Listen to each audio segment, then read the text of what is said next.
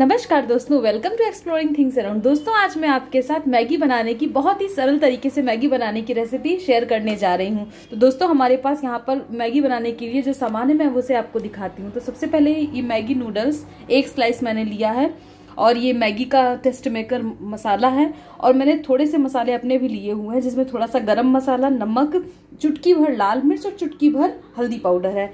और थोड़ा सा जीरा है मेरे पास और ये है थोड़ा सा कॉर्न, थोड़ा सा मटर, थोड़ा सा शिमला मिर्च और थोड़ा सा टमाटर और सबसे मेन इंग्रेडिएंट यानी पानी। तो दोस्तों, अब हम मैगी बनाने की विधि को शुरू करते हैं। तो सबसे पहले मैंने गैस पे कढ़ाई को चढ़ा दिया है। मैं गैस ऑन कर देती हूँ। गैस मैंने ऑन कर दिया है। अब मैं इसमें डालूँगी मस्टर्ड ऑयल। पहले इसे गर्म होने देते हैं।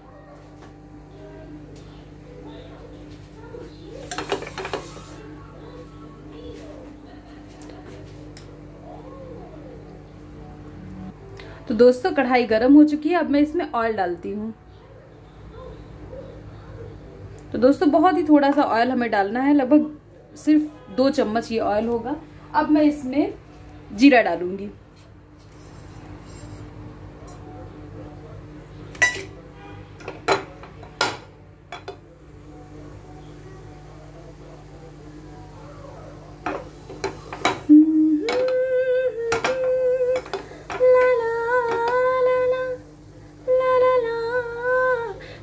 सब मैगी तो बनाते ही होंगे, सबका अपना अपना अलग तरीका होता है। तो दोस्तों, अगर आपको मेरे तरीके से बनाई हुई मैगी अच्छी लगती है तो प्लीज़ इस वीडियो को लाइक कीजिएगा, दोस्तों और फैमिली के साथ शेयर कीजिएगा। और हाँ अगर चैनल को सब्सक्राइब नहीं किया है तो प्लीज़ सब्सक्राइब कीजिएगा। देखिए, मेरा जीरा अब हो चुका है, अब मैं इसमें डालती हूँ मेरा फेवरेट टमाटर।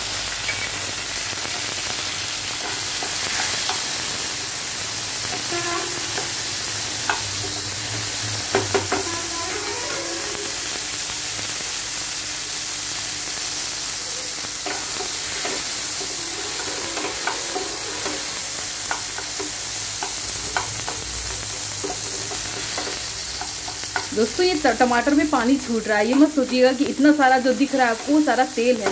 तेल मैंने आपके सामने ही बहुत थोड़ा सा डाला है।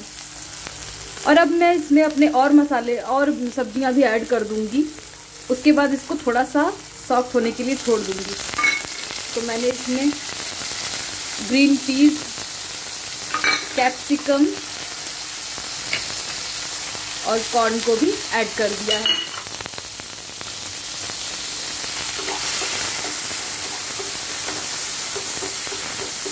अब मैं इसे थोड़ा सा सॉफ्ट होने के लिए स्लो फ्लेम पे ढककर छोड़ दूँगी।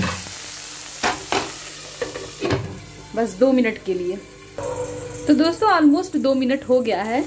तो ये देखिए, हमारे मसाले लगभग पक चुके हैं। सॉरी सब्ज़ियाँ लगभग पक चुकी हैं। ये देखिए, टमाटर पूरी तरीके से पक गया है। पता है दोस्तों, इस समय रात के डेढ़ बज रहे हैं। मेरे हस्बैंड ने बोला कि मैगी खाने का मन कर रहा है, लेकिन सिंपल तरीके से बना के लाना, ज़्यादा मेहनत मत करना। तो मैंने बोला कि मटर तो छिला हुआ रखा है, मेरे पास कुछ बेबी कॉर्न भी रखे हुए हैं। सॉरी कॉर्न रखे हुए हैं। बस टमाटर और शिमला मिर्च को कट करना होगा। उन्होंने कहा हाँ भाई, जाओ बनाओ। तुम तो अपने ही स्टाइल से बनाओगी, तुमको चाहे जो बोला जाए। तो दोस्तों, मेरे लिए यही सिंपल स्टाइल है। ज़्यादा इसमें मुझे नहीं लगता कि मैंने कुछ ज़्यादा मेहनत की है। थोड़ा सा पानी डालूँगी। मसाले मैंने ऐड कर दिए हैं आपने देखा। और अब मैं इसमें थोड़ा सा पानी ऐड कर दिया मैंने। अब थोड़ा मसाला पकाने के लिए मीडियम फ्लेम पे, मीडियम फ्लेम पे इसको एक मिनट के लिए छोड़ देते हैं ऐसे ही। तो दोस्तों, लगभग एक मिनट हो गया है। और अब मैं इसमें मेन इंग्रेडिएंट यानी मैगी मसाला ऐड करती हूँ।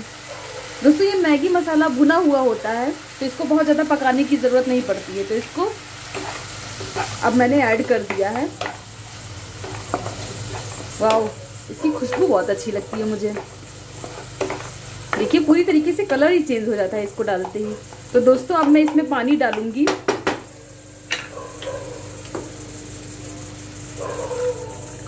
अब मैंने इसमें पानी ऐड कर दिया है। और अब इस पानी को उबाल आने तो जब जब उबाल आने लगेगा, तब मैं इसमें अपने नूडल्स को ऐड करूँगी। तो दोस्तों देखिए, अब पानी में पूरी तरीके से, बहुत ही अच्छे तरीके से उबाल आना शुरू हो गया है तो अब मैं अपने नूडल्स को इसमें ऐड कर देती हूँ। नूडल्स को इसमें ऐड कर दिया है। और इस तरह से बार बार हिलाते हुए चाहे ताकि ये पूरी तरीके से गल जाए। चाहे तो आप तोड़ के भी डाल सकते हैं। लेकिन मैंने एक हाथ से कैमरा होल्ड किया हुआ है, इसलिए मैं दोनों हाथ का यूज़ नहीं कर पा रही हूँ। तो इस तरह से मैं तोड़ दे रही हूँ। बहुत सॉफ्ट होता है, टूट जाता है। तो ये देखिए। वाह देखने में तो बहुत ही अच्छा लग रहा है। खाने में भी ऑब्वियसली अच्छा ही होगा। अभी मैं हस्बैंड से पूछती हूँ तो बताएँगे।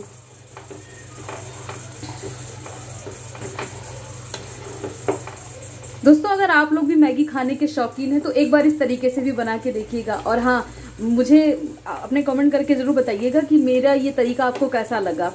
अगर अच्छा लगा तो वो बताइएगा। अगर नहीं अच्छा लगा तो वो वही बताइएगा। अगर कुछ बुराई होगी तो वो भी बताइएगा। मैं पूरी तरीके से रेडी हूँ आपके व्यूज़ समझने के लिए, सुनने के लिए। तो अब हम इसको मीडियम फ्लेम पे दो मिनट के लिए ढक देंगे। तो दोस्तों, दो मिनट हो गया है और हमारी मैगी बनकर तैयार हो गई है। ये देखिए। मैगी सर्व करने के लिए बिल्कुल तैयार है। तो अब मैं इसे सर्व करती हूँ और आपको दिखाती हूँ। तो दोस्तों, मैंने गर्मा गर्म मैगी को सर्व कर दिया है। देखिए, देखने में कितनी लाजवाब लग रही है। और इसे और टेस्टी बनाने के लिए मैं इसके ऊपर थोड़ा सा हल्दीराम भुजिया को ऐसे डाल देती हूँ, ताकि इसका क्रंची स्वाद और भी मैगी को मैगी को स्वादिष्ट बना दे। तो तैयार है हमारा मैगी। अगर आपको भी ये रेसिपी अच्छी लगी तो प्लीज़ वीडियो को लाइक कीजिएगा शेयर कीजिएगा चैनल को अगर सब्सक्राइब नहीं किया है तो सब्सक्राइब कीजिएगा। Thank you friends thanks for watching